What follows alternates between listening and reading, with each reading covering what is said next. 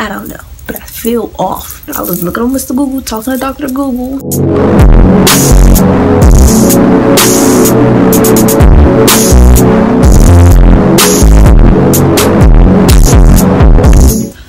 What is up YouTube? It's your girl Luvv and today I'm back with another banger video.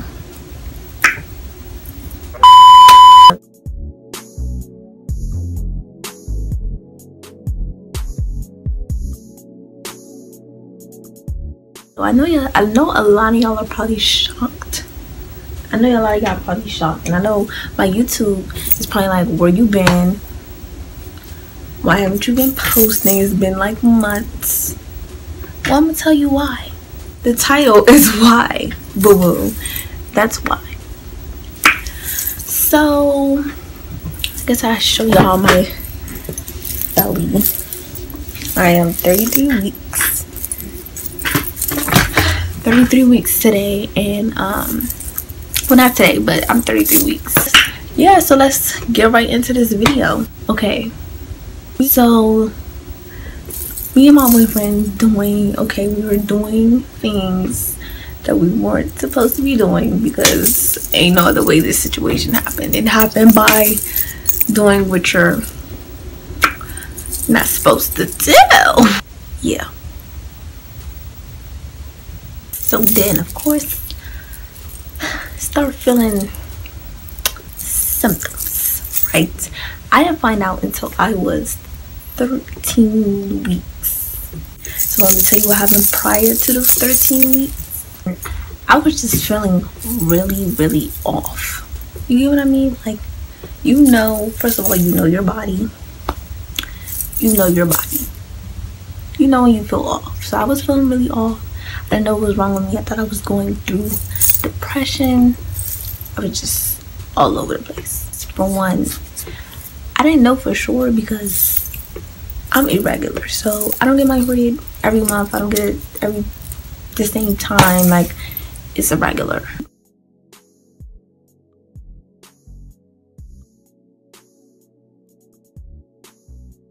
She pops up when she wants to, basically. She says, Peekaboo, hello boo, I'm here. That's what she does. So for me, me not getting my period was not anything abnormal. That's normal for me. Like, I go three months without getting it. But yeah, after that, I was just feeling really weird. The biggest thing, the biggest thing was I was so sleepy. When I tell you I literally was sleeping so much. Like, y'all, I would come home from school and I would just go straight to sleep. You would literally think I was working 17 hours because that's how much sleep I was like. I was sleeping so much. I come home, I didn't even have energy to do my homework. I was just. I would just sleep. It was like my body was so exhausted. I knew it was weird because for one, I can't, I'm not a type of person that really take naps. I don't really take naps like that. Like it's really hard for me to take naps. That's that's how it used to be.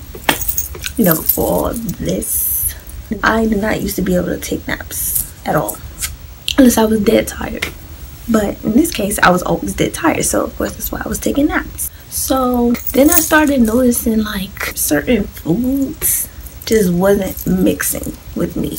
I would I would I would eat it, I would be fine. But then it's like I would have this weird aftertaste. It's like a metallic ugh, you just don't want to taste it. And that that lasted a long time. Sleep lasted a long time. The, yeah. Pretty much the first trimester is the worst trimester. Just letting you know. It's pretty horrific you know, of course, I was throwing up, morning sick, not really morning sicknesses, because I don't even call it morning sickness because for one, it don't happen in the morning. It just doesn't. I don't know why they call it that, but happens whenever it wants to. And I was using the bathroom a lot. Yes, I was using the bathroom so much. When I tell y'all, I had like the bladder of a two-year-old. I couldn't hold nothing. Had to go, had to go had to go. No ifs, ands, or buts. I would wake up in the middle of my sleep. who does that? I'm the type person I can sleep through the night, and then I when I gotta go in the morning, I go in the morning. I couldn't do that no more. So I was like, okay, let me just make sure, just to be on the safe side. Take a test. You just you get the test, you take it. That's what you do. Came back negative. So I was like, okay. So then something, then it started giving me more concerns. Something was really wrong with me. In my I had like TMI. I had like diarrhea, y'all. Like, it was so bad. And I felt so weak. I thought something was wrong with me. I thought I was dying. So I ended up going to the hospital because something was wrong with me. Like, I feel like I was I was about to pass out. I kept having diarrhea. It was crazy. Goes to the hospital, perfectly fine. Nothing. They took my pee, ain't find nothing. Came back normal. So that's that. You know, if the hospital don't don't find nothing, then you really like come on now. The hospital. At this point, I'm still feeling off. Like I'm still feeling off. Like I'm not having diarrhea or um feeling like I'm about to pass out anymore. But I'm still feeling off. Like you just know when you're not yourself. You know when your body is just different. I was like, test, I'm fine. Like negative, nothing good. That's just how I was thinking. But see, when you do something you're not supposed to do, of course, it's gonna come back on you. Some time goes by. I'm like, okay, let me just take another one just to make sure maybe I took it too soon or something. I don't know. But I feel off. I was looking on Mr. Google, talking to Dr. Google. Dr. Google was my friend. And everything is just saying pregnancy, pregnancy, pregnancy, pregnancy. I'm like, what? No. So I was like, okay, um, I'm taking me another one. So that's what I did. Took me another one. Negative. So I'm like, period. Period. But then it wasn't on period because look where I'm at. Now, at this point, I really think so. I'm dying. Like, when I tell you, I thought I was dying. I thought something was really wrong with me. I thought I was gonna die because I was not myself. I didn't feel like myself. Some time goes by and I'm still feeling weird. So at this point, I'm like, like, you're not pregnant. What what else is wrong with you?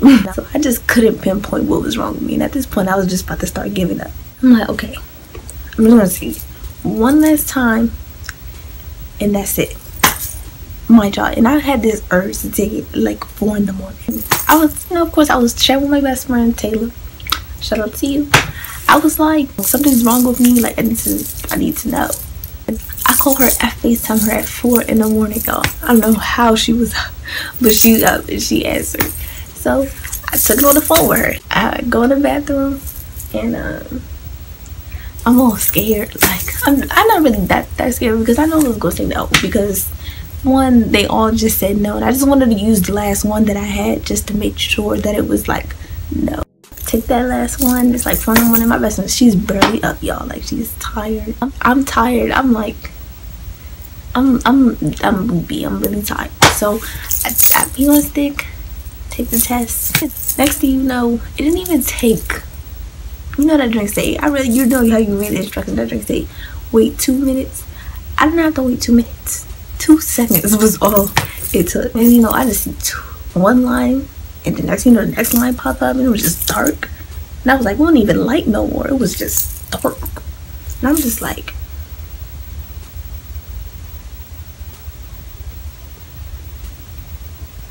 my best friend, she hears me pause, so she's like, "Was news was T would stop playing with me?" That's what she's like. She's like, "Stop playing with me," and I'm just like.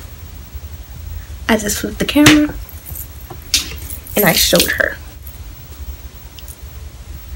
This is an actual test. This is really old. Super old. So yeah, so when I flipped the camera, she was like, oh, Aaliyah. And she started crying.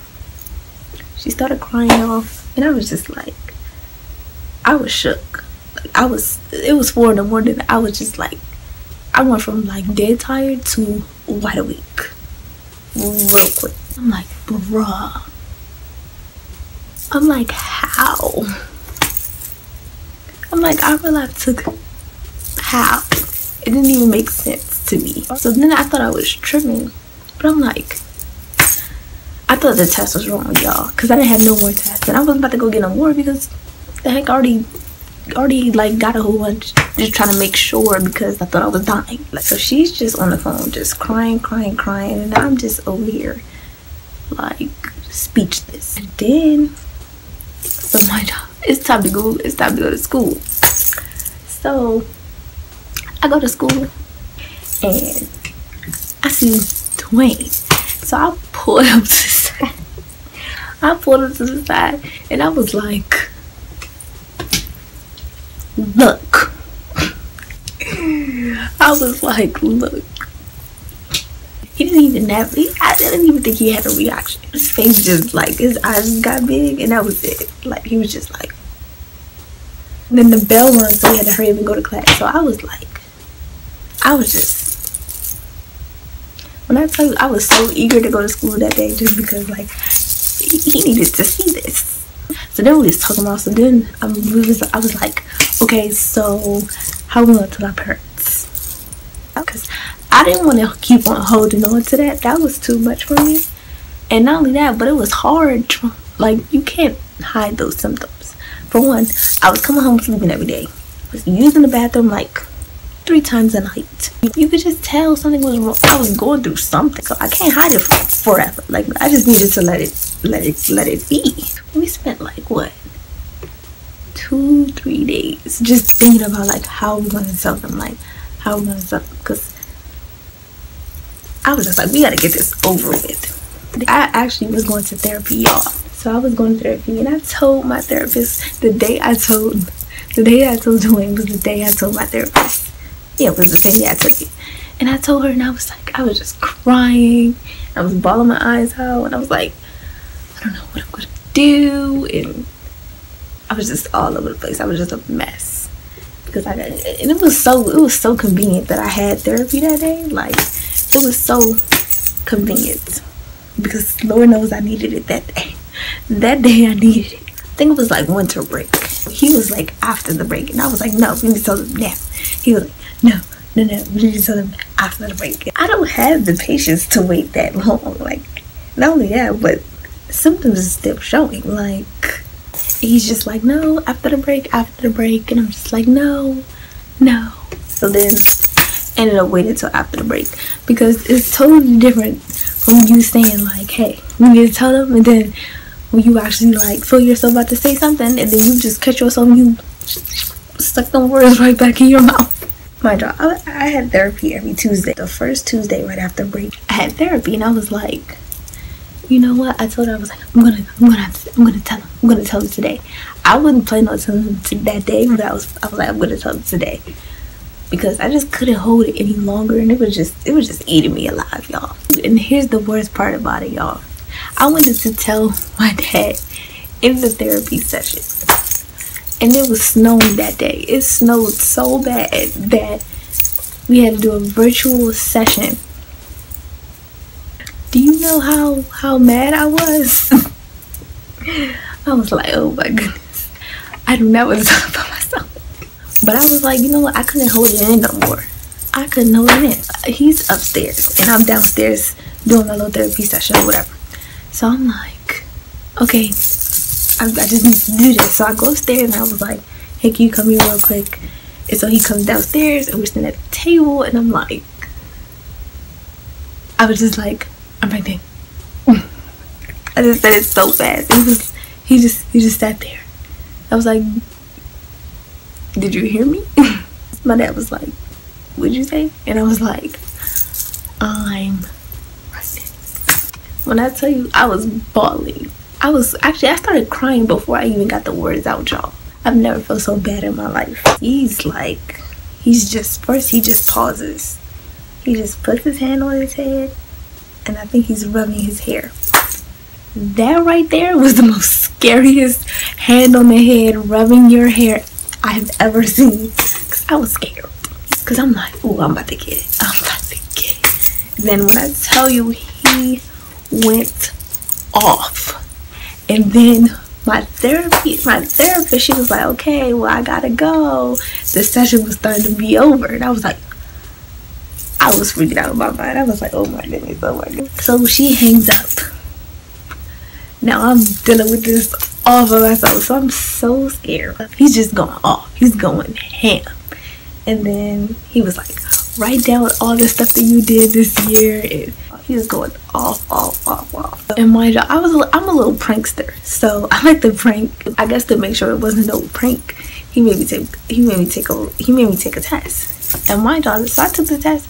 That test, I don't know, that test was super super duper faint, but the one I took was like dark. I was, I was like, um. So for a minute, I thought I was, I thought I wasn't, and I was like, I just said something, and I wasn't, cause I didn't take. Remember, I didn't take a second one after I got the positive one. So I was like, but then I guess when my dad went back in the bathroom, I guess the other line popped up. So then I was like, oh, okay. So then he was like, go look at it. So I go look at it, and it was it was there. Like or not, it was there. He's going off, y'all. He went off for like a week straight, and I never seen my dad so mad before. Like never, ever. And it was like I was just crying all the time, all the time. You do not know what it feels like to disappoint your parents until this very moment. That's when it's like, it's on a whole nother level. It's not even like you just got a bad grade. No, it's like you ruined their life. So then after I, after I tell my dad, my dad tells my grandma. It's so my grandma me and my grandma, we're like this. Super close. When I tell you, she was so mad. I tell you, my heart was crushed. And she was like, You don't know what to do? You don't know what to do? Get rid of it. And I was like, Oh my goodness. And I knew, see, I knew it had been some time because I've been feeling off for a long, long time. So I know it wasn't just no cell or anything. Like I knew it was definitely My dad and my grandma they was telling me they was losing sleep over this. They couldn't they couldn't function. Like it was crazy. It it was it really had them stressed out. That is not something you want to hear from your 15 year old daughter at all. He had to start getting me ready for doctor's appointments. So that's what he did. Now it's time to go to my first doctor's appointment. I'm not gonna tell you how Dwayne found told his parents because that's his story to tell. He's going to tell that on his channel. But yeah, and this is what we see. This was the first. It was like already a baby. You see that? Just sitting in there chilling, legs all extended. When I seen this, I was just like, and it was just in there. It was in there moving and everything. I'm gonna show y'all the clip like I was just so shook. Like I couldn't believe something was really inside of me. Like that was so crazy to me. That was weird and it was just a lot of mixed emotions. Like I was super emotional around that time, y'all. Super emotional. It was hard coming home because you coming home with straight straight it's like just straight disappointment. Straight disappointment. It's just a reminder of it. Like you disappointed, you disappointed. It was just so hard. Then, mind you, me and my mom, we not really, we don't really talk like that. But my dad was like, "You got to tell your mom." I was like, hmm. "I gotta do what?" so when I told her, I was just like, I had to cover it because my little sister was there, and she's nine years old. So as of right now, but she's nine years old. She was eight at the time. And I had to tell my mom, I was like, Mom, you're a G-ma. And she was like, that's how I told her. That's exactly how I told her. See, because I wasn't, see, I wasn't that scared to tell my mom because I don't live with my mom. I'm scared to tell my dad. That's who I live with. That's the one where you got to deal with the consequences and the, you know, everything. She was just like, it's not your fault. Like, I'm here for you and you need me, I'm there. If you need something, just let me know. It was just all that stuff. The biggest one was who I live with. You know, it's easy when you don't like if the person you live with is just like, oh, you know what I mean? All like that. But no. Uh-uh. I don't live with her.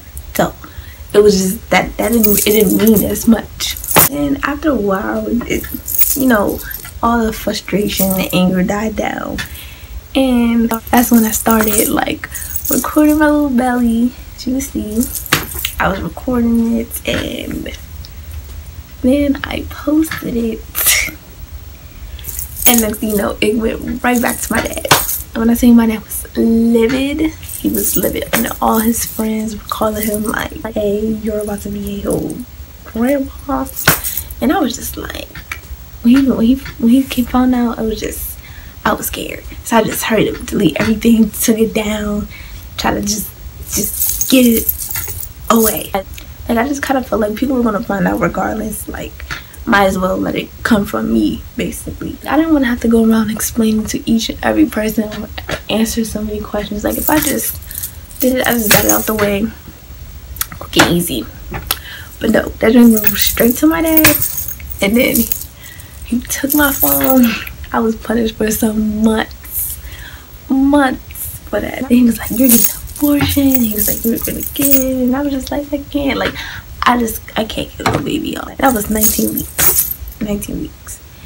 I, I was just like I can't. I can't. He actually took us to the place we drove all the way. It was it was somewhere. It was far. It took us a minute to get there. We drove all the way out there. He was like, "You're getting it," and I'm so I we, I go in there and um sit me down and they're talking to me I'm just crying because one, this is not right. What if that was me? I wouldn't be here. You know what I'm saying? So I'm just, I just couldn't.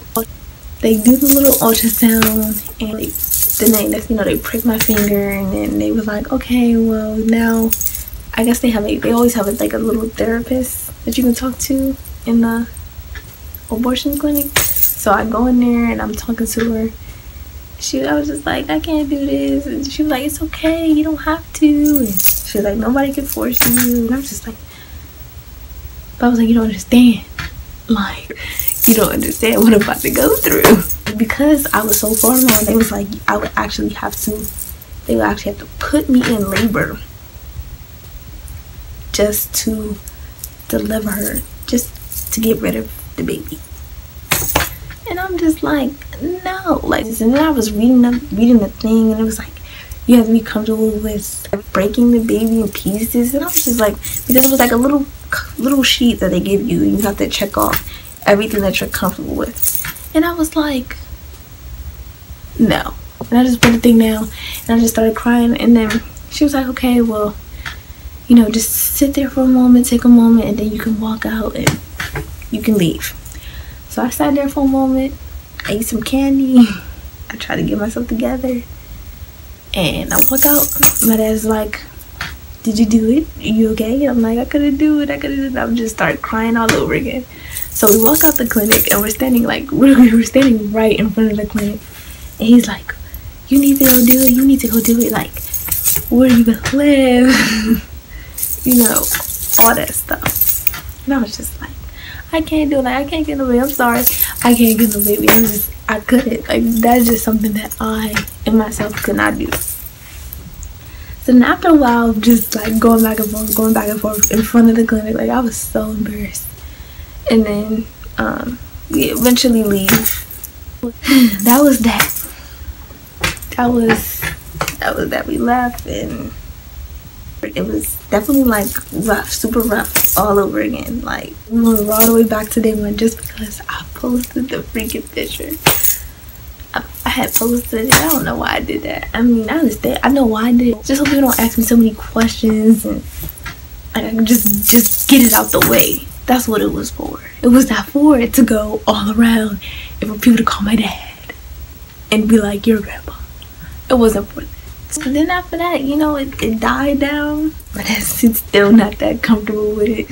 Cause the other day, he was like, he was like, the baby's not gonna call him grandpa. No grandpa, nope. He said no meow. I'm pretty sure he's going to love his granddaughter. And I hope they have a relationship like I have a relationship with my grandma. So yeah, that is how I found out. That was my parents' reaction. Crazy.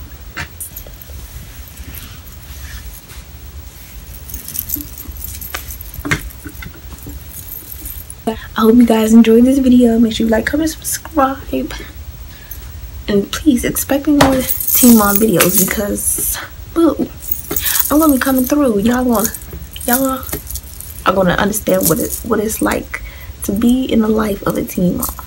Y'all gonna understand what that's like. Anyways, peace out. Peace. Black mirrors